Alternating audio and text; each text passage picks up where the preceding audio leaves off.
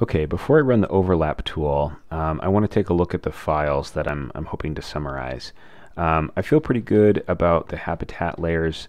They're pretty simple geometric objects. I don't think that the computer is going to hurt itself trying to summarize those, so I think we're happy with the habitats. The wetlands basic area I created um, from, it was actually from a file called uh, wetland characteristics, which I downloaded, but then I, I dissolved and did a couple different things. Um, we'll talk about dissolve in a second. Um, to create a simpler file for this overlap tool so that when we report by watershed it doesn't get kind of gummed up um, or it doesn't crash the computer. So I want to look at conserved lands and we're going to look at another version of the file under boundaries here and it's going to be uh, conserved lands by holder name and at face value they look like the same file um, I can I could categorize this one as well by um, holder name and I would end up with a very similar looking um, kind of categorized file.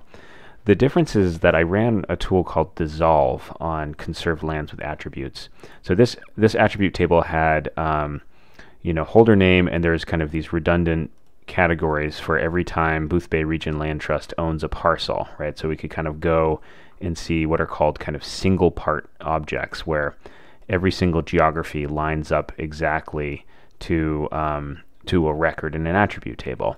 And when you dissolve by an attribute, and I dissolved on holder name, it kind of creates what are called multi-part features, or sometimes it can actually combine the features um, if they're next to each other. It'll get rid of the boundary and create one new polygon based on adjacent polygons. But um, we'll take a look at at what this did to um, this kind of conserved lands by holder name. And now there's only one feature for each one. And so if we were to look at that same Boothbay Region Land Trust, it selects all of these all of these guys, right? So a multi-part feature is a single record um, in a shapefile that has multiple geographies that are kind of usually non-contiguous like this. If you were to run a, um, well actually let's see, this might be a good example right here.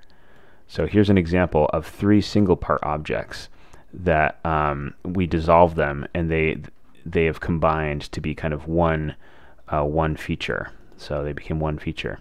But um, it's kind of confusing, but it's really important when you're doing vector work to remember the difference between single part and multi-part because um, if we were to calculate area, for, instance, for instance, right now, the area of this multi-part object would be all the sum of all of these places and it would it would record their area kind of just as one thing for that whole record.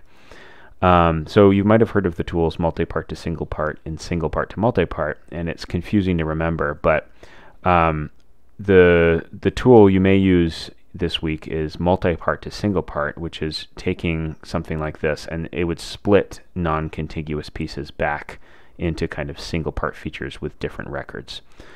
So um, we're actually going to run this multi-part feature, uh, this multi-part shapefile um, instead of this one here.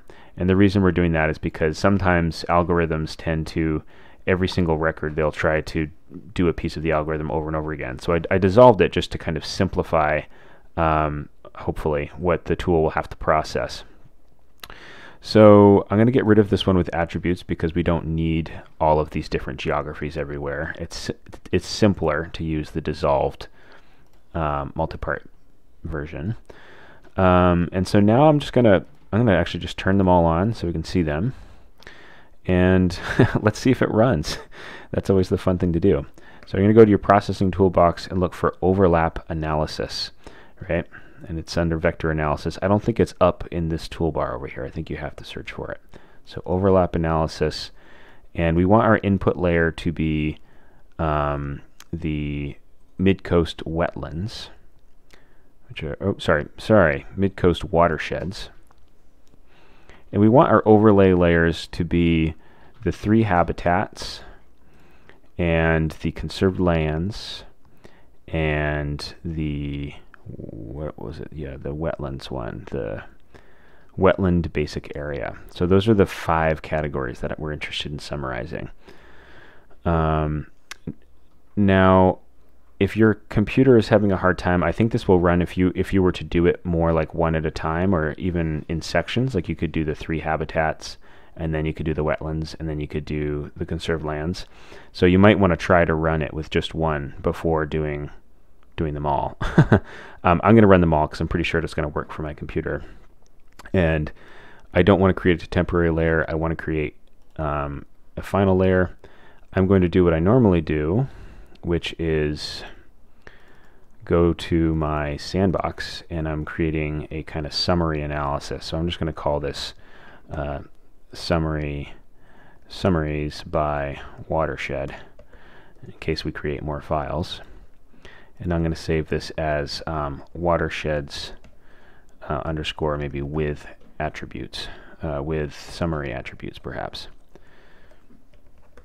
attributes. And I think you'll notice that I'm I'm I'm kind of ridiculous about my naming schemes. I I have a system. I suggest you get one.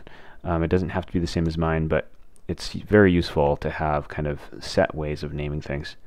Um, so I'm going to just hit run, and I, I hope that will work. It looks like it is. Yep. Great. And like I said before, if yours did, did not run or it was running really slowly, then try to ch change the parameters and only put through a few elements at a time. Um, but that should be that should be good. So now we've got this, and let's open up the attribute table and see what it did. So now, of course, we have to wade through the attribute table and see what's being represented. Um, and because I've used this before, I kind of know what it's what it what it's saying, and I'll I'll just kind of tell you. um, what it's reporting is the area in the first column and the percentage of coverage that that area does for each watershed in the second column. And it's doing that for each attribute, or sorry, each feature that we wanted to see the overlap for. So we've got, um, you know, and it's kind of annoying because these these always get truncated, and, and that happens in, in .dbf files, which is the native file format for tables in, in shapefiles. So um, this is the conserved land area. This is the conserved land uh, percentage. This is the um, this is the deer wintering area habitat area and percentage, inland wader, etc., etc., etc. And so, um, if you want to kind of spot check, you're welcome to. You can kind of do that by um, selecting a watershed, you know, and you can kind of go. Let's see, where's that watershed? Right. I just picked one that happened to be just the islands of a certain bay, right? But um, these are all different watersheds that you can kind of go and um, and get a sense of whether or not you think that, that those percentages are right. Before I ran this lab, I, I did look to see. Um, I performed a few intersects to see if if the tool was operating properly, and and so far in my experience, it, this tool has been it's pretty good. It does a good job, and so I trust it. So um, the one thing we might do just to do a quick double check, which I think would be interesting, is let's try to do um, our own percentage for one of these columns to see if it checks out. And you might be asking, well, okay, I think I, I know how to calculate area for vector objects. We can do that. Um, what kind of unit is this? This is just spitting something out, and how do I know what unit it is? Um, in Q, it, we tend to always, um, the tools will just run the base unit of the projection. So we're not going to get terribly into projections, but if you're in a projected coordinate system, meaning you can't be in WGS84 or NAD83 alone, um, you can use those datums, but you need to be in a projected coordinate system, then the base unit um, will be something you can usually find in the you know the Proj4 code or um, you know the, in the actual projection kind of language. And so the base unit for um, UTM 19 North, which is what we use for most of Maine, is is meters. And almost all of the units you'll find in, in New England for projected coordinate systems will be meters unless it says unless it says feet. So occasionally when I work with um, planners, they like to design in feet. So we'll intentionally choose um, you know a, a feet based system. But so what does that mean? So this is meters, and what that means is that these coordinates down here, right, are literally just a flat Cartesian plane of however many meters from however many meters from an origin. And so that's what that's that's how it's using in calculating kind of the the units of the area. So so anyway, um, if we know that they're square meters, then let's go and calculate the area for each of these watersheds. And so to do that, we're going to open this back up and we're going to open our um, field calculator. And I'm going to call this um, area. And we'll make it a real. So we want it to be a, a decimal, something that can have a decimal. Um, I'm going to make it big because they're they're pretty big and I don't want it to lose anything. So I'm going to go 20. I don't care a ton about the precision here because a meter is pretty accurate for this scale, uh, but I'm going to still give it a couple decimal places, but I don't need to have a bazillion decimal places. I don't, I don't think that's necessary. So now um, the dollar sign area is the way to get the field calculator to report for every record in the upcoming field that we're creating, how to have it just kind of report, okay, what are the square meters for that object? And so um, I could just do that, and I'll do that right now. So area, that's good. Okay. So this is my my area figure for each of the um, for each of the watersheds. And now let's say I want to calculate a percentage, right? I can go back here again, and I'm going to just say test because we're testing to see if our percentage calculation is close to their percentage, the tool's percentage calculation. So I'm going to say, so that's called a test. We'll make it a real and go 22. And I'm going to say, I want to take the, let's take their measurement of area, conserved lands, and divide it by our area. And I think you can kind of tell at this point that um, if if I wanted to, I could just use that dollar sign area again right here. I don't. You don't need to always create fields every time. You can kind of summon that same um, tool as you go along. You don't need to always create separate fields for every object that you're you're creating in this statement here. Um, so either way, I'm getting 0.027. So if I multiply it by 100 to get a percentage point, then it looks like, and I kind of like this about Q, it it provides an example output so that you get a preview, and it's usually the first record. So I see this. Um, we've taken conserved land, divide by area, multiply by 100, and I'm getting 2.7577, 2.757758. And so to multi, like hundreds of thousands, if not millions of decimal points, we're getting the same thing. So th this is just for me to say that, yes, I trust the tool. I don't think I need to run this actually. Um, it's just an unnecessary column. So now the question though is, um, I don't think that our clients will appreciate us reporting in millions of square meters or hundreds of thousands of square meters. So we'll we'll we'll create a reporting column, a reporting unit that's more meaningful um, to them. And so um, what I'm going to do is show you how to do one, and then I'll let you do the rest of them, and we'll move on to the second part of the video. So to calculate acreage, we would just say, okay, let's call this, these are the um, acres, and I'm going to make a code for myself, CL for conserved land.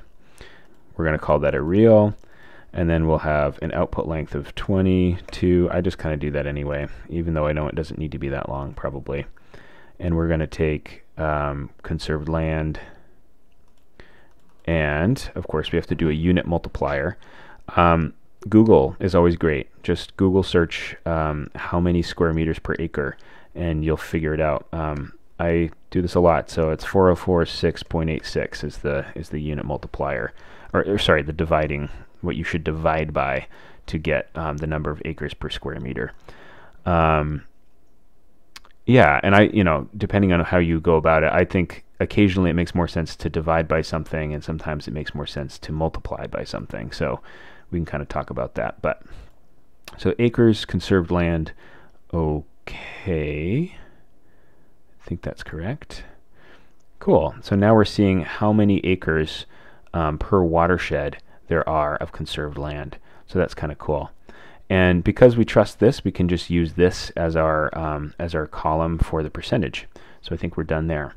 So go ahead and um, figure out the acreages for all the other columns and we'll move on.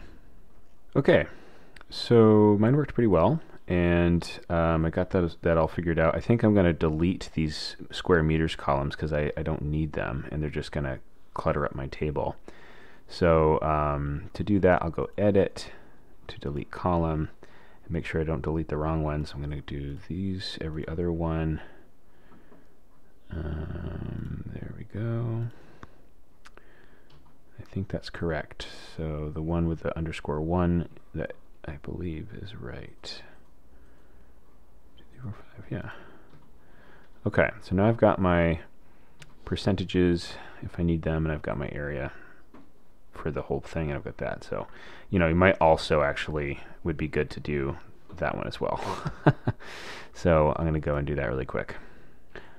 Okay, so I just calculated the acres of the entire of each watershed as well, and I think that'll be helpful. I'm gonna hit save, and we're gonna set this aside because we're not gonna use it yet. Um, for the rest of the video, I'm going to show you how to do some terrain analysis. Um, I mean, they're just basic terrain tools, so you may you may be familiar with these already. But we're going to create a hillshade. We're going to do a hypsometric tint, and then make some contours as well. Okay, the reason we're doing um, this terrain stuff is that um, you have the option to work in Illustrator again this week instead of the new tools, which we're going to show in the next few videos. Um, you know, we're going to show you some Tableau, but um, it's good to know how to make an attractive um, kind of base map or a physical map from the ground up. So if you haven't done that, that's kind of what this is for. And now we'll bring in the, go under terrain and we've got a dem.tif that you can bring in. And so um, a DEM, I think you, or most of you have seen one of these before. This is a digital elevation model, which is the generic term for the, term for them. Um, next week, I will distinguish between kind of a DTM, a DSM, and a DCM, which are kind of the the terrain, um, surface, and canopy, which are occasionally things you'll encounter. But for this week, we're just it's just an elevation model. Every pixel represents elevation. They come in kind of this black to white as a standard symbology. Um, the first thing we'll do, I think the most the simplest and, and best thing you can do to kind of help the average person see the terrain is to just run a hillshade, which um, if you've done before, that's great. And if you haven't, this is where you find it right here. It's under Analysis and then Hillshade. Um, it's a GDAL tool. There's a couple different ones you can use. Um, Saga has a nice kind of, they call it an analytical hillshade. I don't know what that really means, but um, but it creates a different version. And the default settings on these are usually fine. The light comes from the east northeast and about 45 degrees off the um, off the ground. And there's a bunch of settings you can try, but let's just go ahead and use the default settings and save the hillshade. I'm going to put it under my terrain. And for my shorthand, I usually just go HS for hillshade. And that way, if I try some different hillshades, um, I can do an underscore and then describe the things I do there. So I'm just going to run that. Um, this is a, I guess it's a pretty big file, so it might take your computer a couple seconds. Um, and this might even be too detailed, right? It's a pretty detailed hillshade. Um, so maybe I'll I'll provide a sample for you guys for this week of something that's a little a little coarser because you know it's might look a little busy as a base map, but we'll work with it for now. Um, and I think one of the things about hillshades is that sometimes hillshades can kind of muddle the composition because they're just so gray. And so um, I like to increase their contrast so that when I bring them into Illustrator, I can kind of make them very, very soft, but they still have an effect.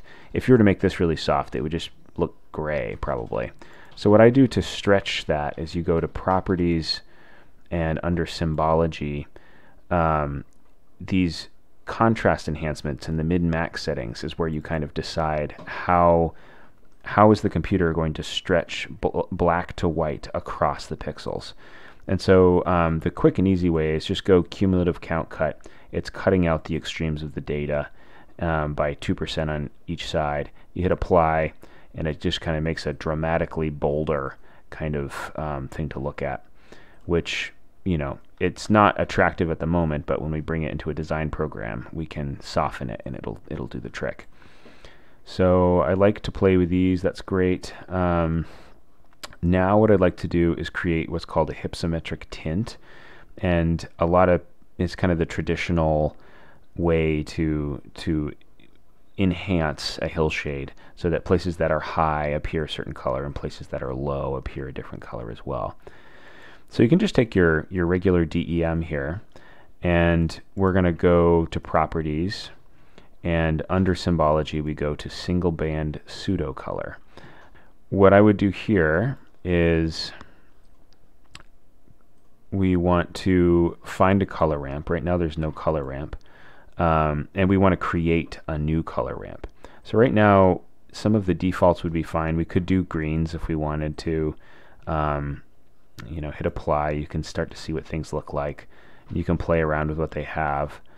Um, but I, I think I want to create one because you know hypsometric tints are um, usually kind of a certain style that the eye understands. So this is a pretty, yeah, here's a good example, right? This is a hypsometric tint that's blended with a hillshade where things that are low tend to be kind of green as if they're more lush and things that are higher tend to be a pale kind of yellow or tan and sometimes into white to to mimic kind of a, an arid mountainside or something like that. And so it's it's just a style choice, but I, th I think it a lot of people expect to see it, and and therefore it's a good thing to know how to do. So back here, we'll go to. Um, we're not going to use one of their color ramps. We're going to create a color lamp, a color ramp. So create new color ramp, and we want it to be a gradient, meaning this is a pixel gradient, right? That's one of our terms for the course. Um, you could do other, there's other choices, but we're going to create a gradient. And it comes in with this default thing here. Um, but it's it's kind of it seems like a cumbersome tool but once you get used to it, it it works pretty well and you can kind of come up with some nice stuff and I think I'm going to let you figure out how to use this I'll do a couple of quick things here and you can you can take it from there. So it, it runs by you double clicking and you can kind of put color stops and then it tells you what the relative position of each stop is as a percentage from 0 to 100 and um, so you know you kind of get the sense you just you click one and then you choose okay I want that to be dark green and then you can choose another green or a yellow or something like that um, and then you know you can kind of decide how you want it to go. So I'm not going to overthink this. Um, that's good enough for, for my purposes. I just kind of made four gradient stops and then told it to go from a color to a color to a color. Um, there is the danger that you you just do this for hours and then it still looks bad. So um, within reason, spend some time uh, figuring out how this tool works. So I select that color ramp. I'm going to hit apply and um, you know, it looks kind of yucky, but I'm, I'm okay with it for the moment. So what I would tend to do now is, um, and in the next in the next Illustrator video, I'll show you how I, I compile these in Illustrator to um, to create an attractive um, terrain map. Um, just really quick, you can kind of see that if you were to make both of these semi-transparent, then they're going to blend and look more attractive together than they would look alone. So if I make these semi-transparent, you know, you start to get this kind of feel that this is a landscape and it's ruffled and there's places that are high and low and you know you turn on the water and suddenly you you have the makings of a of a of a good reference map. Um, but I'll let you mess with that as you wish. Um, the last thing I'd like to do in this video is show you how to make contours.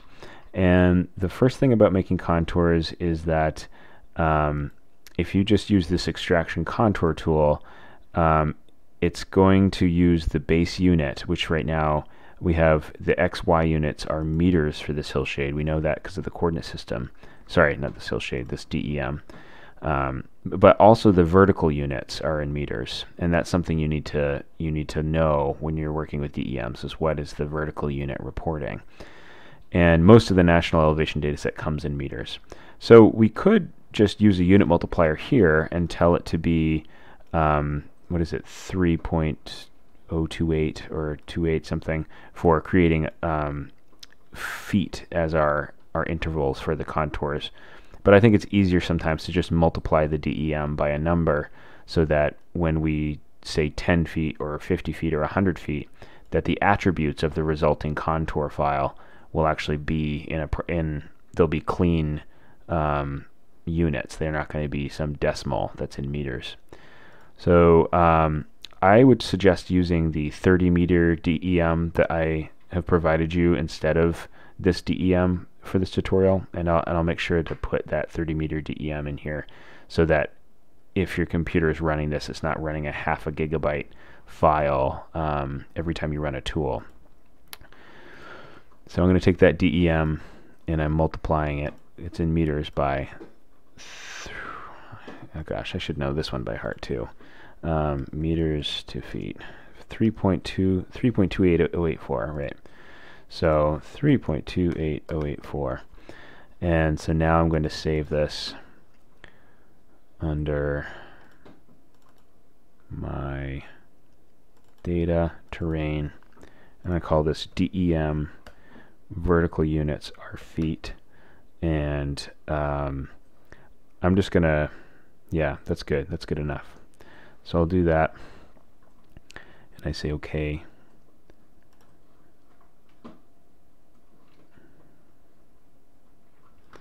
So that ran and that is fine. There there it is. And now I'm going to run um, let's just try uh, 20 foot contours. So now I go to extraction, contour. I'm going to take my DEM vertical units feet and say 20 and save the contours to